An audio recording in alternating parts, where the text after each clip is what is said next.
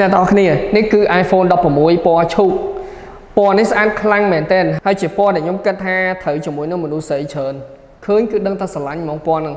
អញ្ចឹងនៅវីដេអូមុនខ្ញុំបានបង្ហាញពី iPhone 16 Pro Max ពណ៌ Desert Titanium ហ្នឹងពណ៌នៅក្នុងរូបផ្សេងពេលដែលយើង unbox មកពណ៌វាវា select ជាងវាដូចក្នុងរូបទេដែលចំណុចហ្នឹងខ្ញុំរៀង disappointed បន្តិចដែរតែឥឡូវយើងមកមើល iPhone 16វិញម្ដងអញ្ចឹងខ្ញុំនឹងធ្វើការ unbox បង្ហាញអ្នកទាំងអស់គ្នា អានេះ16មិនមែន16 plus ទេបើ plus វាធំជាងហ្នឹង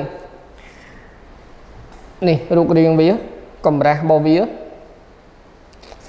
ស្អាតខ្លាំងមែនទែននេះនិយាយមែនណាពណ៌នេះស្រីស្រីប្រើគឺមើលមកគឺឃើញលយហ្មង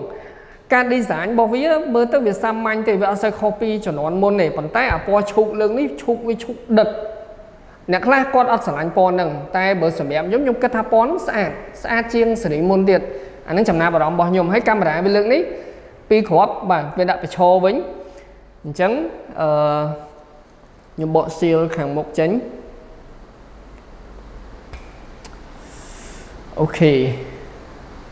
ហើយរបស់នៅក្នុងប្រអប់គឺអត់មានអីក្រៅពីមជុលចាក់ស៊ីមហើយជាមួយនឹងខ្សែសាក Type C ទៅ Type C ក៏ដូចជាសភៅណែនាំអត់មាន sticker រូប Apple ទៀតទេ បាទគេដកចេញហើយ អញ្ចឹងឥឡូវខ្ញុំនឹងធ្វើការ start ម៉ាស៊ីនសិនអូខេឥឡូវខ្ញុំធ្វើការ set up ហើយហើយអញ្ចឹងខ្ញុំបង្ហាញពីរូបរាងរបស់វាឲ្យអ្នកទាំងអស់គ្នាមើលម្ដងទៀតមើលឲ្យគៀកពណ៌ឈូកស្អាតខ្លាំងមែនទែនបាទនេះអានេះប៊ូតុងកាមេរ៉ាកាមេរ៉ា control របស់វាពេលដែលយើងចុចចូលមួយទៅវាចូលទៅកាន់កម្មវិធីកាមេរ៉ាអូខេនេះអឺភាសាយើងតំបើកវាលើកដំបូងបាទចុចមួយថត hold វាជាប់ ថតវីដេអូដូចអ្នកនរគ្នាឃើញអញ្ចឹងប្រឡែងដៃវាឈប់ហើយពេល zoom ប្រើដៃអូសចេះបាទអូសចូលឡើងចេះ zoom ឃើញ smooth ល្អហ្មង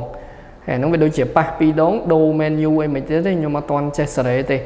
អូខេអញ្ចឹងសម្រាប់ទំហំអេក្រង់របស់វាគឺ6.1អ៊ីងដដែលជាប្រភេទ Super Retina HDR កម្រិតពន្លឺ2000 nit និយាយទៅអេក្រង់ហ្នឹងគឺកប់ស្អាតខ្លាំងមែនតើ ស្ទើរតែត្រង់មួយទេស្ទើរតែ refresh rate វានៅ60 Hz អឺតាមពិតអារឿង refresh rate នេះខ្ញុំគិតថាដោយអ្នកប្រើទេខ្ញុំដឹងថា 120Hz គឺវាល្អវា smooth ហើយមកដល់ឆ្នាំ2024ទូរស័ព្ទតម្លៃ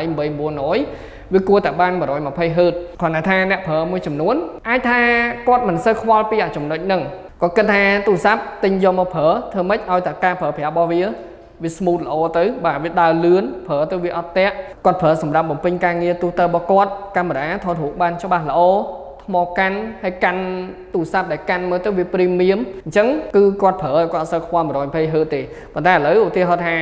ខ្ញុំដាក់ប្រៀបធៀបជាមួយនឹង15 Pro Max របស់ខ្ញុំ 120Hz ហើយអានេះ 60Hz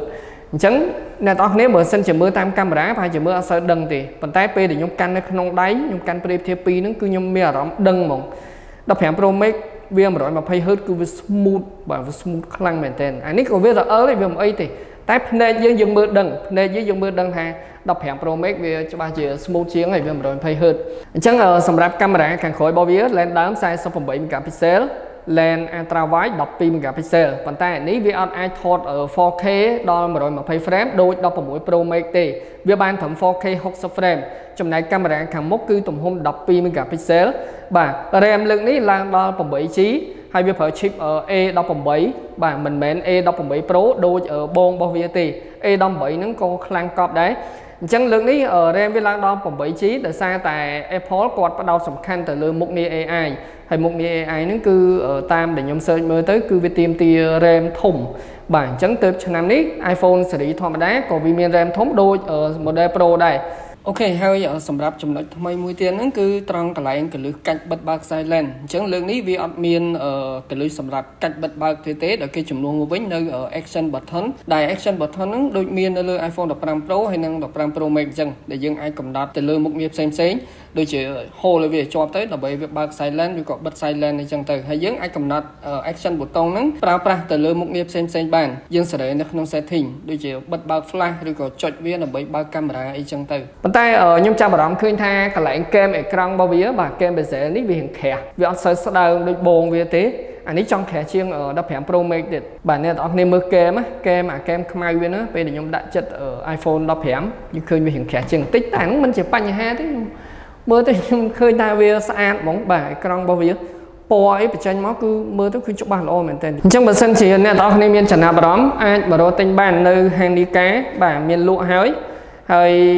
ជំរើសពណ៌ដូចជាមាន5ពណ៌ប៉ុន្តែឥឡូវហ្នឹងខ្ញុំក៏អត់ដឹងថាស្តុកដែលគេលក់ហ្នឹងនៅសល់ពណ៌អីខ្លះដែរព្រោះអាវ៉ាន់ហ្នឹងលក់ដាច់ខ្លាំងមែនទែនមួយរយៈនេះ iPhone 16គឺបុកខ្លាំងវាមិនមែនជារឿងដែលចម្លែកទេរាល់ឆ្នាំឲ្យតែ iPhone ចេញភ្លាមគឺអ្នកលក់គឺដឹងថារវល់ខ្លាំងមែនទែនហ្មងបាទអ្នកទិញគាត់បុកមកទិញច្រើនគាត់យកទូរស័ព្ទស៊េរីចាស់យកមកវាយដូរអញ្ចឹងទៅអូខេអញ្ចឹងនៅក្នុងវីដេអូហ្នឹងគឺខ្ញុំមានតែប៉ុណ្្នឹងទេហើយយើងចាំជួបគ្នានៅក្នុងវីដេអូក្រោយទៀត